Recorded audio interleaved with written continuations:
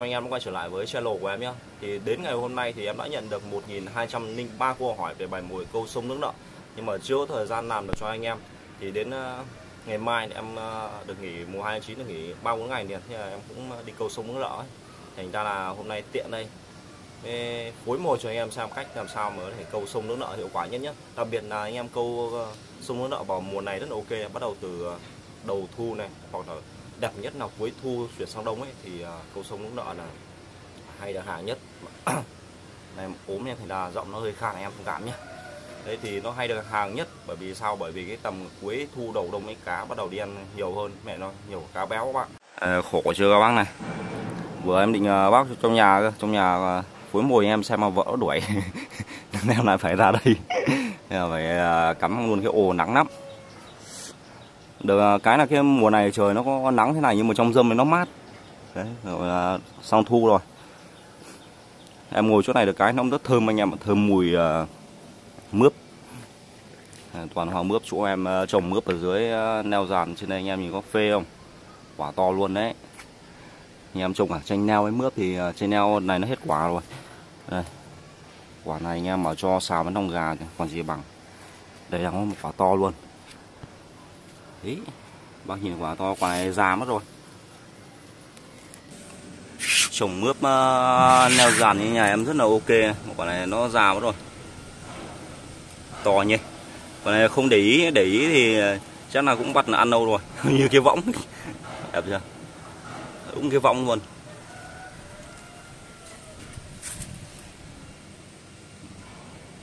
Hoa quả nổ quả này nó già tí nữa là cho nước ngâm nổ luôn đấy anh em ạ.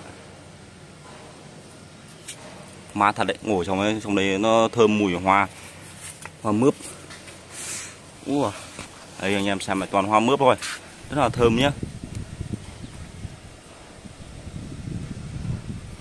Review bay mùi ở trong cái bụi này rất là ok luôn đấy. Nhìn đẹp chưa?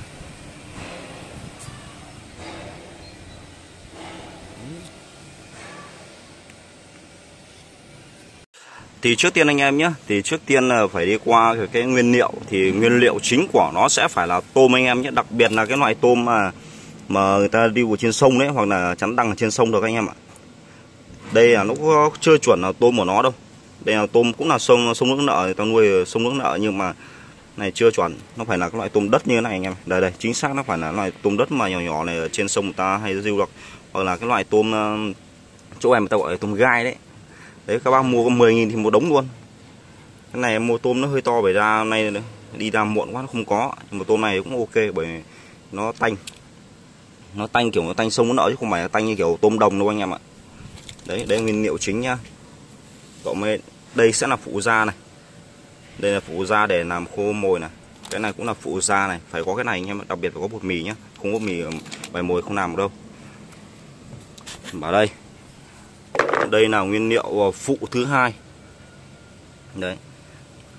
Cái này là chính này. Cái này là phụ này. Còn cái này là phụ da này. Phụ da này. Đấy. Bây giờ chúng ta sẽ phối mồi anh em nhé. Đấy, đánh cá sông nước nợ thì bằng mồi đánh vô cùng hiệu quả luôn. Đấy, quan trọng là cách anh em phải phối mồi được nhé. Rồi chúng ta bắt đầu ờ, vào tay bóc tôm. Đối với sông nước nợ anh em đi câu thì đa phần là hay câu tôm hoặc là run. Run thì ờ, cũng ok nhưng mà run thì nó chỉ nên đọc một số loại cá ờ, nhất định thôi, nó không được lên được nhiều. Run thì ờ, em thấy đa phần là câu ấy hay câu được cá vèn này, rô phi này, mấy này cá úc ngạnh. Đặc biệt là úc ngạnh chỗ em thì nó hay ăn được ừ, run là cũng tương đối là nhạy.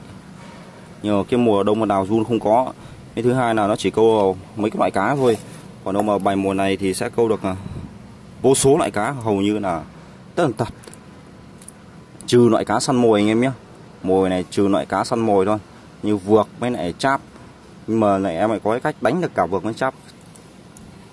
Khi anh em đi ờ, làm mồi này câu ấy, mình móc luôn tôm sống vào, mình câu hai lưỡi anh em nhé. Một lưỡi này đánh một loại này, còn nó một lưỡi đánh tôm sống đánh loại kia. Thì ờ, cháp mẹ vượt nó mẹ ăn đây anh em nhé, anh em nhớ phải giữ lại cái phần à, đầu tôm này. Cái phần này nó rất là tanh. Cái phần này phải giữ lại, đặc biệt phải giữ lại. Rồi. Bóc hết, cái này phải bóc hết anh em nhé. Bài mồi này các bác đi đánh này tuyệt vời luôn. Đấy.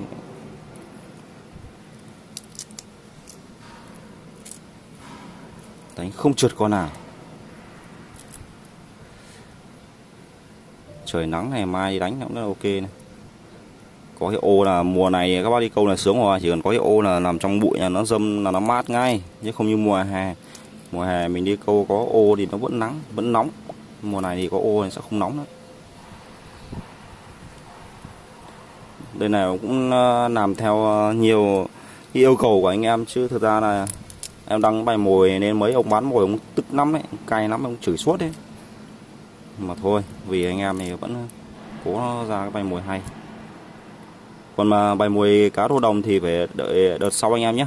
Đợt sau em câu em phải lên được nhiều hàng hôm nam nữa có thời gian đi câu ấy, để cho bác xem cá rô đồng nó cuốn hổ đấy. Giật mỏi tay, bắt đầu em mới chia sẻ cho bác xem cái sự lợi hại của bài mồi của em. Rô đồng mấy cá chê. Đợt này nó chưa phải mùa, nó thành ra đi câu nó nắc đác, nó chưa cuốn ổ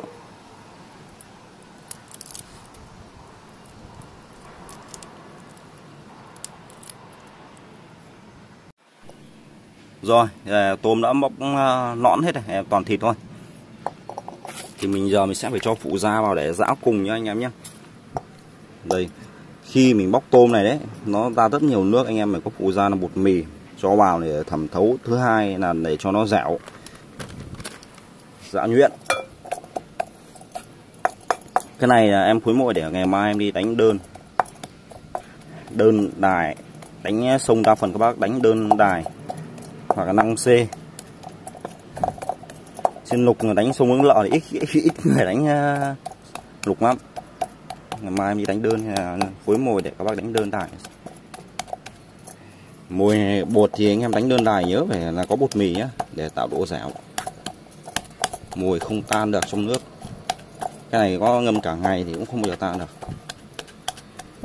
Đó. tành lắm đúng là cái loại tôm sông này tanh cá cực kỳ thích ăn loại này. Cái loại này chỉ cần xuống một cái là nó bâu ngay. Khi anh em đi câu thì nhớ xả mồi sẽ làm xả mồi ủ nhá. Đừng xả loại này nó tốn mồi xả mồi ủ để dụ cá đến thôi. Chứ các bác nào mà điều kiện lắm thì mới dám xả các loại này. Đó, rất là dẻo và dính giã giã nhuyễn.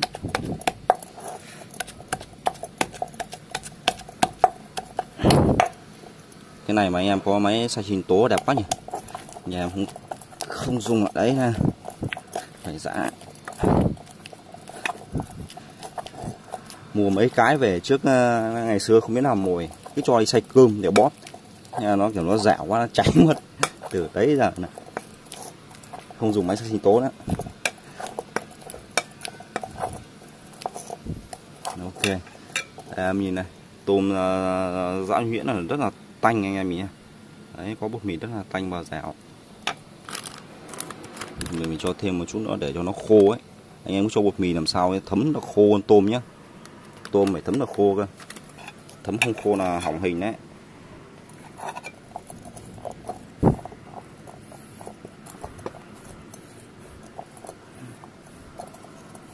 Đây, riêng mà cái loại tôm tẩm mấy bột mì này nhá anh em nhé. Đi câu là Ờ, cháp rất là ok luôn, rất là nhạy.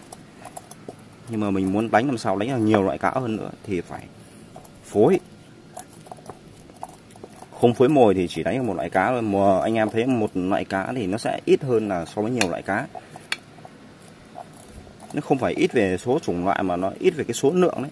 Giờ một ờ, quãng sông này mà mình, mồi mình có thể câu được là nhiều loại cá thì tất nhiên là nó đắc đáp một vài con của cái loại đấy đến thì mình sẽ câu được nhiều cá hơn, đúng không?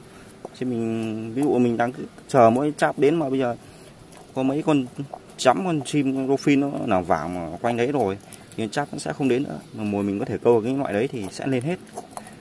Thành ra là phải cô sông là phải chơi mồi tổng hợp. Chứ anh em cứ chơi mồi chuyên một loại thì không ăn thua. Đấy, anh em nhìn chưa? Này là chuẩn này dẻo này. Đấy tẹo mướt luôn. Cái này nó gần như kiểu là mồi vuốt đấy. Câu cháp như thế này, này anh em ok đây. Móc phát vuốt là rất ok rồi. Nhưng mà em muốn đánh nó nhiều thể loại hơn không không để chơi những này không được. Như câu nói chung là nó phụ thuộc vào may mắn rất là cao. Rồi. đây là mồi ủ chua các bạn mồi ủ chua của em em mủ này càng để lâu càng chua thơm. Anh em thấy chưa? Càng để lâu càng chua thơm. Đấy, các bạn nào mà chưa biết bài mồi chua thì em để link bên dưới nhá. Bài mồi này thì phải à, đến năm em nào đến 500 nghìn anh em ấy. Sử dụng cái bài mồi này của em này đánh tất hiệu quả báo cá liên tục. Mồi này nó là vô đối trong các loại mồi bởi vì sao nó vô đối thứ nhất nó vô đối về giá thành thứ hai là vô đối về uh, vô đối về độ nhạy này. Độ nhạy cực kỳ nhạy đối đối với các loại cá nước ngọt có vảy đánh rất là kinh khủng luôn. À, thay thế ở run này. Đấy anh em đánh bài mồi của em thì nên trôi trôi nói này trôi cái bài mồi này cực kỳ là nhạy luôn. Chỉ cần phối thêm một à, ít thành phần nữa là lên đủ các loại cá luôn. Mồi ủ này thì mình sẽ lấy bằng hai phần so với cái mồi bột tôm anh em nhé. Mồi bột tôm nó một phần thì cái này sẽ lấy gấp đôi. Đấy, cái này nó ok. Để đánh thêm các loại cá có vảy thì phải chơi cái loại này rồi, đây cái hỗn hợp của mình, anh em thấy chưa? Tôm này. Rất là tươi luôn. Bây giờ sẽ phải nhào nhào với nhau. Rất là tươi vào anh em như kiểu mồi vuốt luôn đấy, anh em cấm này mà vuốt nữa là đánh cháp thì cực kỳ ok. À. rất là dẻo. Phối cái này vào thì cá sông nó ăn như chết đói luôn. Để chứng minh cái độ hiệu quả thì ngày mai em đi em đánh cho các bác xem. Mặc dù là mùa này ờ, vẫn chưa phải là cái mùa đi câu sông đâu. Chỗ em thì hầu như là cá nó vào đa phần là cuối cái tháng 10 đấy anh em ạ. Cuối tháng 10 bắt đầu đi câu sông nước nợ với là ok. Còn bây giờ là hầu như là anh em sẽ đánh nước ngọt. Bởi vì sao? Vậy cá sông nước nợ cái cuối tháng 10 nó béo béo đặc biệt là cá úc ngạnh. Chuẩn kỹ các bác nhé là một cục câu đơn này mà anh em vã mệt. Mùi này đầm uh, ờ, bảo anh em đi câu này ít khi món nó được nhiều thì ít em đi câu mùi này chưa bao giờ món. Chẳng qua là có được nhiều với cá hay không thôi. Hôm nào mà cá nó ờ, đi ăn theo đàn ấy nó tụ được cá thì giật để nói là mỏi tay mà lên, không biết bao nhiêu cân. Anh em đừng nên sử dụng gói mồi bột tôm làm gì, mua gói mùi nó không được tanh tanh nó không được tươi như loại tôm thật này của mình đâu.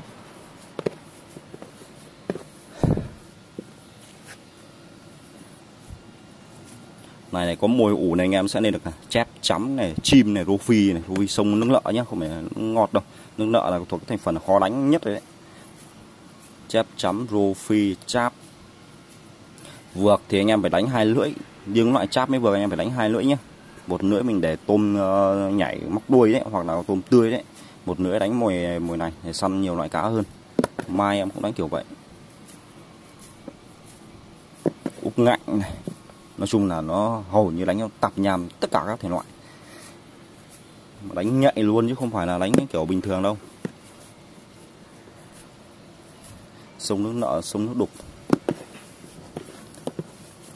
Anh em cái mùa này mà đi đào run là cực kỳ bất khuất đấy không có run mà đào đâu. Cái mùa kiểu nó hanh khô run nó xuống ấy. Thứ hai là câu run chỉ câu là một số loại cá thì không câu được nhiều. Nó không thể nhạy bằng các, các loại bài mồi tổng hợp được đâu. Đó anh em nhỉ. Này, dẻo gần như không dính tay nhá. Tí mình phải cho thêm à, phụ da để không dính tay ngày mai anh em đi câu mới là ok.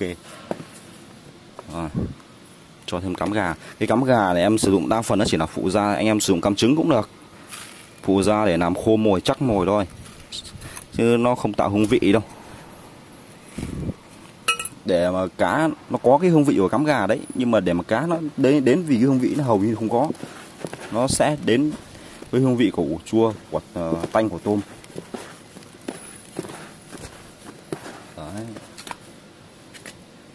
Em đa phần em sử dụng cái cắm gà hay cắm trứng chỉ là cái cụ da. Bóp mồi cho nó chắc mồi không dính tay thì phải cần bột mì và dẻo phải bột mì không tan trong nước cũng phải có bột mì. Không tan trong nước có bột mì nhưng cũng phải có cắm gà nhé. Bởi bột mì nó dẻo lắm anh em mà chơi mẫu bột mì không là à, tí không móc đâu. Phải có cắm gà thì nó mới cứng mồi về mồi vất xuống không bao giờ tan. Nước sông nước nước nợ anh em nước sông nước nợ có chảy đến mấy anh em, chỉ cần cho thêm bột mì ò mấy cái gắm gà này ngâm cả ngày, chảy thoải mái luôn, không bao giờ tan, mặc dù nãy đơn. Trước em có video um, test cho bác xem đấy. Ngâm mồi trong nước này, kể có chảy mấy, không bao giờ tan mất mồi được. Đấy, thì gần là một cục thế này là, nói cái mùi nó mình thấy nó cũng hấp dẫn một cục này là mai anh em đánh đơn thì đánh cả ngày, tiếng nữa đơn đánh cả ngày. Xả thêm tí mồi ủ nữa là tuyệt vời luôn. Bảo quản cái mồi này em phải bảo quản trong tủ lạnh, tủ đông đá nhé đừng bảo quản trong tủ mát. Bởi vì sao? Bởi vì anh em bảo quản trong tủ mát, ngày mai em vác đến chỗ câu là mồi bị ờ, ươn ươn mồi rồi. Anh em cho trong tủ đông đá, tủ đông đá nó lạnh rất là lâu. Đấy mai em đi câu thì hôm nay em sẽ cho vào tủ đá luôn. Tủ đá luôn thì ngày mai em đi đến chỗ câu nó mất khoảng 2 tiếng thì bắt đầu mồi tan cái phần bên ngoài đấy. Bên ngoài nhá, xong mình lấy cái phần bên ngoài mình câu. Cứ câu dần câu dần câu dần thì đến bên trong cuối mồi mồi nó vẫn còn vẫn còn là tanh tanh tươi không phải tanh thối. Nếu tanh thối tầm đấy nó chỉ đi câu được cá chê thôi anh em ạ. Anh em nhớ nhá, cho vào tổ đá tổ đông đá. Đến chỗ câu mình nó khoảng một hai tiếng bắt đầu mồi nó tan ra là vừa tầm đấy sau mình à, cấu những cái bên ngoài mình câu, đúng không? Cấu bên ngoài câu. Lúc lúc lúc trong lúc câu anh em phải bảo quản vấn đề trong trong túi nhá, chỗ dâm mát đừng để phơi nắng nhé bởi nó có tôm mà, có tôm nào mà mồi nó ươn, nó thối ngay. Đấy, cứ để trong đông đá mày cấu bên ngoài câu, cứ móc dần móc dần đến cuối của ngày câu anh em mồi nó vẫn còn à, tươi luôn. Mình không biết bí quyết thì thành ra đi, câu này làm mồi xong này câu ấy toàn được cá nheo cá chê là hỏng nhưng mình phải câu nhiều các loại cá rồi.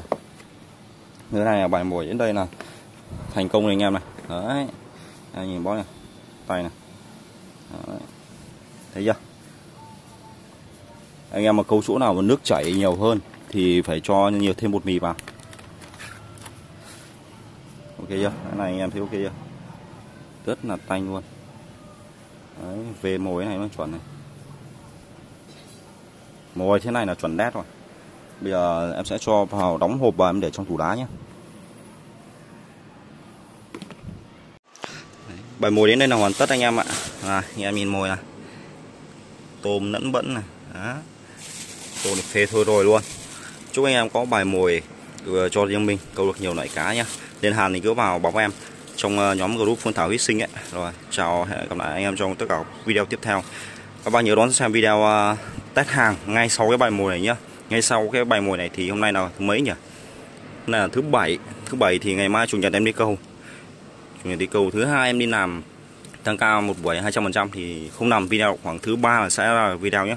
Sau bài mồi này khoảng hai hôm thì sẽ lên được video. Mong là lên được nhiều hàng cho anh em xem.